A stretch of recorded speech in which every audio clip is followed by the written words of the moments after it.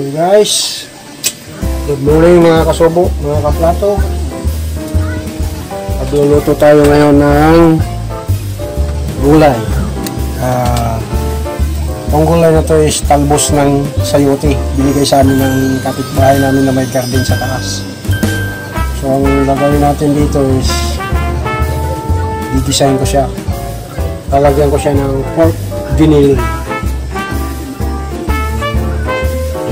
Magkakatugma-tugma yung luto ko. Basta yun ang nasa isip ko. Yung nasa isip ko, yun ang gagawin ko. Meron ako rito yung giniling. One fourth. Iboboil ko na siya.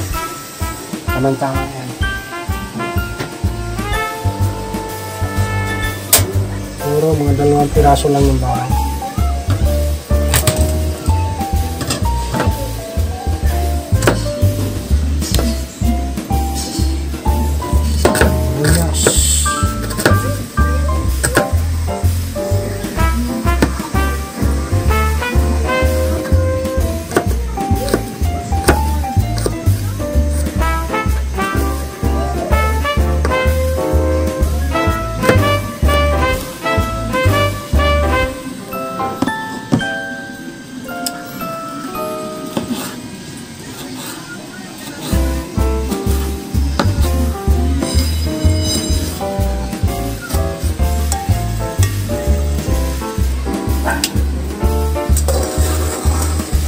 Pinapainit ko yung kawali.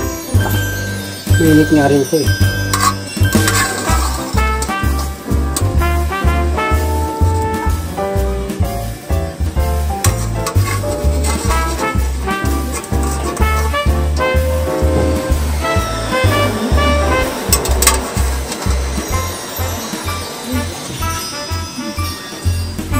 Hindi lang kasi pork na yung gamit natin eh.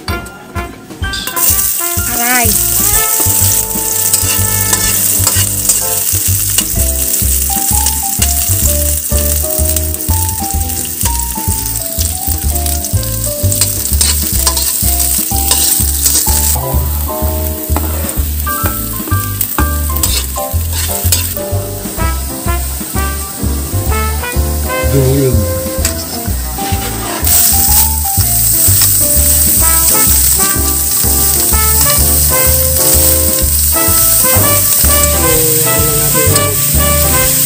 Golden Golden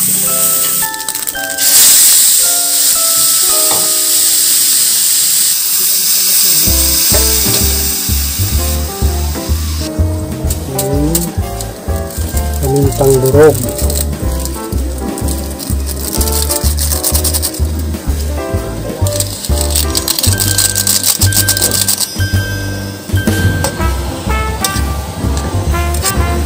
Ngayon guys, tatakpan natin siya. Guys. Oh. Okay.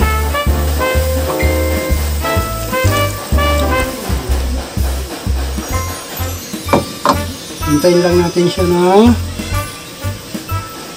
kumulo. Titikman natin kung ano yung ano ng ingredients natin kanina.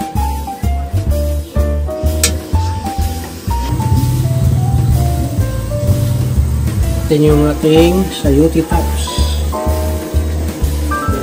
Siguradong kain na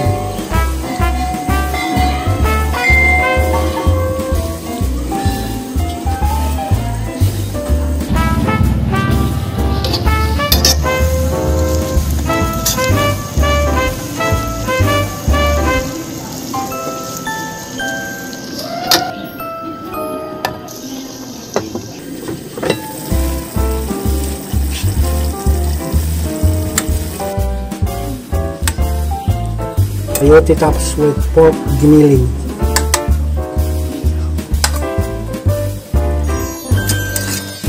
Ito na. Tapos na ang ating sayote tops with pork giniling. Anong halian namin ito ngayon? Alam niyo lang kasunod. Mayroon pang panghapunan. uh, ano po yung luto ko sa sayote tops with pork giniling. Alam niyo na. Kain na na mga kaplato, mga kasubo. Yan na po siya. Ayan.